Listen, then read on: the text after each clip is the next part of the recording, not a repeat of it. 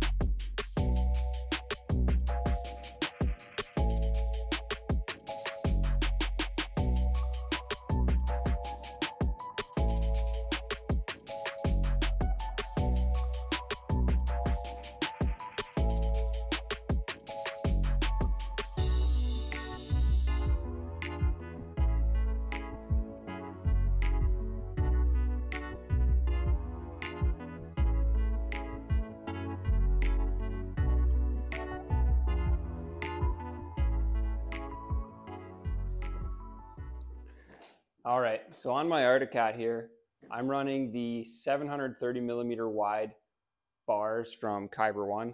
They have a 25 millimeter rise, and I paired that with a 65 millimeter riser, and that gives me a really nice low setup. Um, and there's a bunch of bunch of reasons why you want a low setup. Okay, I see a lot of people riding around in this old man position with high bars like this, and though that might feel comfortable sitting on the showroom floor, that's not going to help you be a better rider. Um, the whole idea, me coming from the motor world, I understand body position is super important on your machine, and body position helps you soak up what's coming at you on the ground. As you know, sledding, there's old tracks, there's dips, dives, all kinds of things that you you have to deal with out in the snow and you want your body in the best position possible to soak that stuff up. So I find obviously you want to be in, a, in an attack position, okay? So feet mid to mostly near the back, um, about three quarters of the way back, say on the running board. Um, knees bent, elbows bent, attack position like this, okay?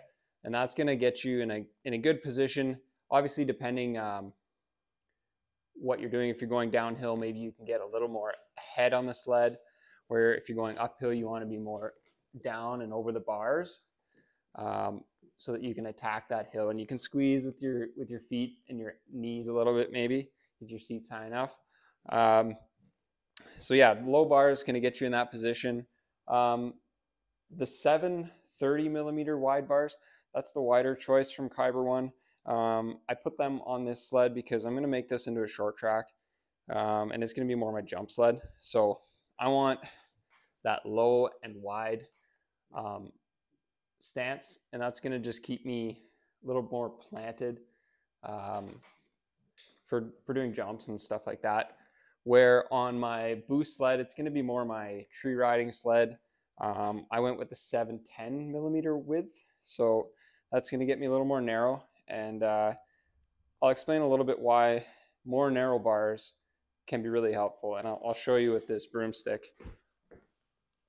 So, okay, imagine this, your stock bars are really wide, okay? Um, you're riding along and you want to get it up on edge or something like that, or you're just working over some weird terrain.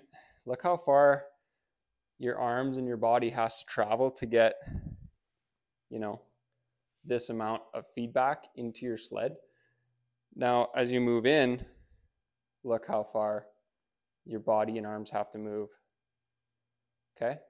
So, skinnier bars is less feedback from the rider to get the sled to do, you know, things faster. um, from the rider through the bars to your sled. Obviously, there's there's a fine line. If you go too skinny, you're going to be unstable and not be able to um, stay in control on your sled. But the wider you are, the bigger your motions have to be to, to get that input into the sled. Okay, so wide, skinny.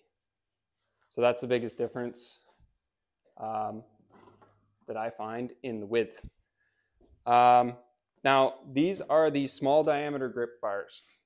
What is really neat about these is where your grip goes, they're actually down, neck down a bit. So what, what that enables is your hand's gonna have a smaller grip, like more like a fist. And that's gonna be where your best grip is. Um, I don't know how else to explain it, but if you have a chin up bar that's really, really fat and you're trying to hang on like this, your grip strength isn't to be near as strong and you're to tire out and drop way quicker than if you had like very tight fists, okay? It's the same idea with this. I, I noticed that right away with Moto. I was very, very picky. Um, even if I went to a thick grip, like a nice pillow top grip on my motorbike, um, my grip would just open up that little bit. And I'm talking millimeters makes a difference here, okay? So that little bit, I would get arm pump. It would be harder for me to hang on. And that's where I really notice. Um, and over the course of a day or several days of riding, it's going to really benefit you to have just a smaller, little bit slightly smaller diameter grip um, in, in being able to hang on and grip strength. So just a couple more things I wanted to touch on about bar width, bar height.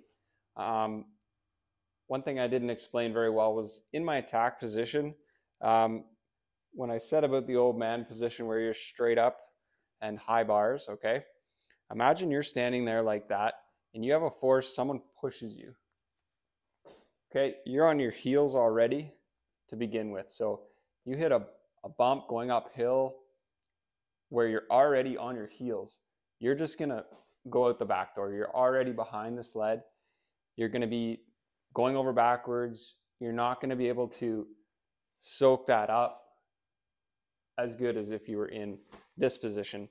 And it's just just easy to see if you're in this position, someone try to push you, you're not going anywhere.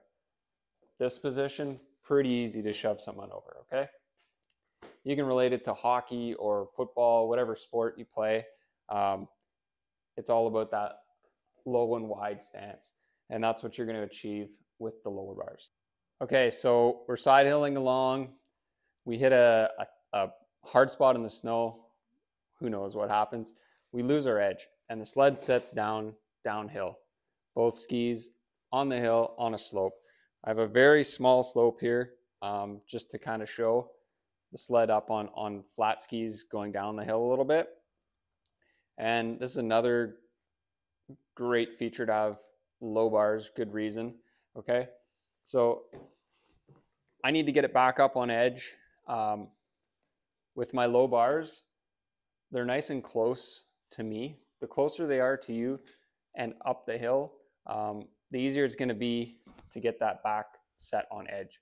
Um, you can just imagine if my bars were higher and they're pointing down the hill, it's going to be getting further away from me, okay?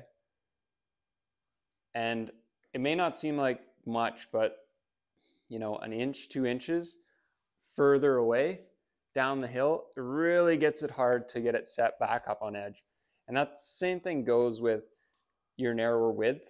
Um, if you have to reach out further on your wide bars to grab that grip to get it back over versus in narrower, uh, it's just all about your position and uh, skinnier, low um, bars really are going to help you um, in all aspects. So there you have it. That's my take on low, narrow bars. Um, I really do feel it's going to benefit you as a rider. Uh, you'll be in a better attack position. Um, you'll have better control, and you're just going to look badass. Okay. Um, I'm going to come out with a sled update video very soon, hopefully, once I get my, you know, together. Um, Polaris has been recalling us, you guys know. Um, so I don't know what my plan is yet for the boost, but I'm gonna figure it out and let you guys know. I have this huge mountain of parts back here that has to go on sleds, so I got to get my button gear because uh, I'm gonna be on snow soon, and we'll be making content on snow stuff um, as soon as possible. So we'll see you guys out there.